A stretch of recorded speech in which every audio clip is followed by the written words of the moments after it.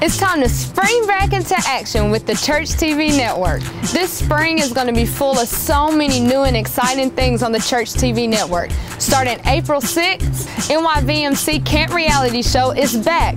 You don't want to miss all the amazing things that took place on last year's camp. Also on April the 6th, ladies, you don't want to miss this. There's a brand new show that is going to help us to just breathe. You know all the issues that we have. Well, guess what? Wanda Malone and Tiffany Malone are going to help us with those every Thursday night starting at 6.30. You don't want to miss it.